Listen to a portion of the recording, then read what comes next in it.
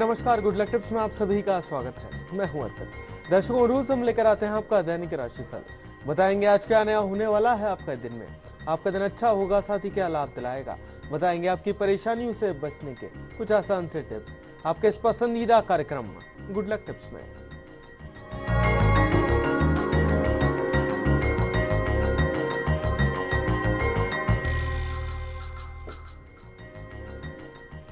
दर्शकों कल ही चंद्र ग्रहण पड़ने वाला है। ये ग्रहण आपकी राशियों पर भी प्रभाव डालेगा। तो क्या प्रभाव होगा आपकी राशि पर ग्रहण का? और क्या उपाय करने हैं जिससे बच सकते हैं आप ग्रहण के प्रभाव से? साथ ही किन विशेष बातों का खास तौर पर आप सभी को ख्याल रखना है? इसे बताने के लिए हमारे साथ हमारे स्टूडियो में मौजूद है जाने माने ज्योतिष आचार्य पंडित मुकेश शास्त्री जी। पंडित जी बहुत बहुत स्वागत है आपका। जय श्री कृष्णा, जय माता की, जय Shri Hari. Very good morning to all तो दर्शकों, आप सभी भी पंडित जी से जान सकते हैं। आपकी परेशानियों और मुश्किलों से निकलने का हल बस कुछ आसान से उपायों के साथ। उसके लिए बस आपको हमें कॉल करना है। हमारा नंबर लगातार आपकी टीवी स्क्रीन पर फ्लैश होता रहेगा। कॉल करने के साथ बस आपको हमें अपना नाम, जन्म की तारीख, जन्म का समय और जन्म का स्थान बताना है। तो चलिए देर किस बात की उठाइए, अपना फ़ोन और कर दीजिए हमें कॉल। चलिए उससे पहले जान लेते हैं। आज का दैनिक राशिफल। क्या कुछ खास लेकर है आप सभी के लिए? गुरलक टिप कार्यक्रम के सभी दर्शकों के ऊपर भगवान श्री हरि का, माँ लक्ष्मी का, माँ बगुलामुखी का आशीर्वाद और कृपा दृष्टि हमेशा बनी रहे। आप सभी का कल्याण हो। दोस्तों, आज हम बात कर रहे हैं साल 2018 के प्रथम खग्रास चंद्र ग्रहण के बारे में, जो इस बार माघ मास में दिनांक 31 जनवरी सन 2018 बुधवार यानी माघी पूर्णिमा के दिन पड़ रहा है। लगभग डेढ़ सौ साल बाद ऐसा संयोग बना है माघ मास की पूर्णिमा हो और उस दिन चंद्र ग्रहण का योग हो। इस चंद्र ग्रहण का असर संपूर्ण भारत में दिखाई देगा। ऐसे चंद्र ग्रहण योग में स्नान करना, तीर्थ स्नान करना, दान करना, जप करना, पूजा करना बहुत महत्व रखता है। सायकाल में होने वाला चंद्र ग्रहण ध्यान से सुनिएगा आप सभी दर्शक लोग, कहाँ पे कितना इंपैक्ट आ रहा है वो मैं आपको बताने का प्रयास करूँगा आज। तो सायकाल शाम के समय में होने वाला चंद्र ग्रहण भारत के जो सुदूरवर्ती पूर्वी भाग है, वहाँ पर चंद्रमा उदय होने के बाद शुरू होकर खगरास रूप में दिखाई देगा। और शेष समस्त भारत में, राजस्थान, उत्तर प्रदेश, पंजाब, दिल्ली, उसमें गस्त्रोदय खग्रास चंद्र ग्रहण अर्थात ग्रहण लगा हुआ उदय होगा। पूरे भारतवर्ष में चंद्र ग्रहण का प्रभाव दिखाई देगा। आइए सबसे पहले जान लेते हैं कि इकतीस जनवरी सन 2018 बुधवार के दिन जो चंद्र ग्रहण लग रहा है, उस चंद्र ग्रहण में सूतक का समय क्या होगा? सूतक काल क्या होगा? तो दोस्तों, सूतक काल जो है, वो दिनांक इकतीस जनवरी सन 2018 बुधवार को प्रातःकाल सूर्योदय के साथ ही प्रारंभ हो जाएगा। हमारे राजस्थान में विशेष तौर पे सूर्योदय के साथ साथ में सूतक लग जाएगा। सूतक लग जाने के पश्चात में पूर्णिमा तिथि की कथा पूजन का कार्य नहीं हो सकता। साथ ही बच्चों, वृद्ध और रोगियों को छोड़कर सभी धार्मिक जनों को सूतक काल के अंदर भोजन बनाना भी नहीं है और भोजन करना भी नहीं चाहिए। अब आपको सूतक काल से पहले, यानी सूर्योदय से पहले, यदि आप चाहें, क्योंकि पूर्णिमा जो है वो आज रात्रि को लग जाएगी तो अगर आप चाहें तो सूर्योदय से पूर्व पूर्णिमा कथा कर सकते हैं या पूर्णिमा कथा आपको करनी है तो जब ग्रहण काल खत्म हो जाएगा रात को आठ बजकर इकतालीस मिनट में उसके पश्चात अपने तन की शुद्धि करके, घर की शुद्धि करके, मंदिर की शुद्धि करके, भगवान की शुद्धि करके तत्पश्चात में आप पूर्णिमा का व्रत कर सकते हैं, कथा कर सकते हैं, लेकिन सबसे उत्तम सूर्योदय से पूर्व करना है।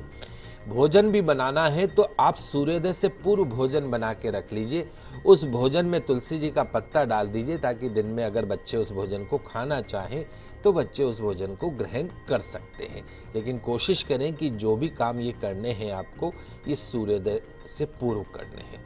सूर्य ब्रह्म मुहूर्त जिसको कहते हैं कहते हैं ब्रह्म मुहूर्त में की गई पूजा का तो विशेष लाभ मिलता है। तो कल यदि पूर्णिमा कथा आप करना चाहते हैं तो ब्रह्म मुहूर्त में करें, अर्थात सूर्योदय होने से पहले करें। आइए अब जान लेते हैं चंद्र ग्रहण के प्रारंभ और समाप्ति काल के बारे में। आपकी टीवी स्क्रीन पे भी आएगा। चंद्र ग्रहण जो प्रारंभ होगा वो शाम को पाँच बजकर अट्ठारह मिनट पर प्रारंभ होगा। चंद्र ग्रहण जो है, वो शाम को पाँच बजकर अट्ठारह मिनट पर प्रारंभ होगा।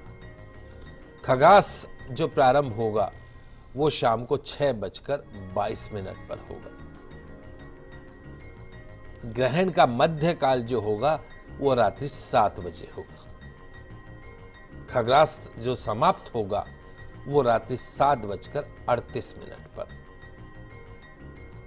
और चंद्र ग्रहण समाप्त कितनी बजे होगा, जो सबसे इंपॉर्टेंट चीज़ है, वो है रात्रि आठ बजकर इकतालीस मिनट पर। तो इस प्रकार शाम को पाँच बजकर अट्ठारह मिनट से शुरू हुआ चंद्र ग्रहण जो है, वो रात्रि को आठ बजकर इकतालीस मिनट तक रहेगा। उस ग्रहण समय के दौरान आपको विशेष सावधानी रखनी है। आइए अब जान लेते हैं ग्रहण का राशिफल। चूँकि चंद्र ग्रहण है, साल का प्रथम चंद्र ग्रहण है तो उसका आपकी राशियों पर क्या असर पड़ेगा? बहुत इंपॉर्टेंट चीज़। है चूँकि ये चंद्र ग्रहण पुष्य नक्षत्र और अश्लेषा नक्षत्र एवं कर्क राशि के अंदर हो रहा है। तो पुष्य नक्षत्र में जो जन्मे व्यक्ति हैं, अश्लेषा नक्षत्र में जो जन्मे व्यक्ति हैं, और जिन व्यक्तियों की कर्क राशि है, उनके लिए चंद्र ग्रहण विशेष कष्टकारी साबित होगा। तो विभिन्न राशियों पर होने वाले चंद्र ग्रहण के प्रभाव को आज मैं आपको बता रहा हूँ। शुरुआत करता हूँ मेष राशि। मेष राशि वाले जो हमारे दर्शक हैं, आपके लिए चंद्र ग्रहण, साल का जो प्रथम चंद्र ग्रहण है, उसका असर क्या होगा ये जान लेते हैं। आपको नौकरी के क्षेत्र में, व्यवसाय के क्षेत्र में सफलता मिलेगी। कार्यस्थल पर आपकी मान प्रतिष्ठा में वृद्धि होगी। आजीविका से जुड़े सभी क्षेत्रों में लाभ की प्राप्ति होगी। सुयोग्य, सुलक्षणों से युक्त जीवन साथी की प्राप्ति होगी। स्वास्थ्य का ध्यान रखिएगा, संपत्ति संबंधी समस्याएँ हो सकती हैं। ग्रहण काल के दौरान भगवान शिव की उपासना करें। ग्रहण के बाद में हरी वस्तुओं का दान अवश्य करें। अगली जो राशि, वह है वृषभ राशि। वृषभ राशि वाले जो हमारे दर्शक हैं, आपके लिए चंद्र ग्रहण का क्या प्रभाव रहेगा, ये वो जान लेते हैं। कैरियर में बदलाव के संकेत दिखते हैं। नौकरी और व्यापार में तरक्की होगी, उन्नति होगी। हाँ, अपने डिसीजंस में विशेष तौर पे सावधानी रखिएगा। अचानक धन लाभ होने की भी संभावना है। चंद्र ग्रहण काल के अंदर कृष्ण भगवान की उपासना करें। ग्रहण के पश्चात में लाल फल का दान अवश्य करें। अगली जो राशि, वह है मिथुन राशि। मिथुन राशि वाले जो हमारे दर्शक हैं आपके लिए चंद्र ग्रहण का कितना इंपैक्ट होगा, ये जानते हैं। चंद्र ग्रहण का संकेत आपकी राशि पर यह कहता है कि आपको आने वाले समय में फाइनेंशियल लॉसेज हो सकते हैं।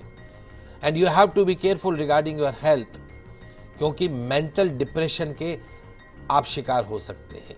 आँख और कान, नाक, गले का विशेष तौर पे आपको ध्यान रखना है।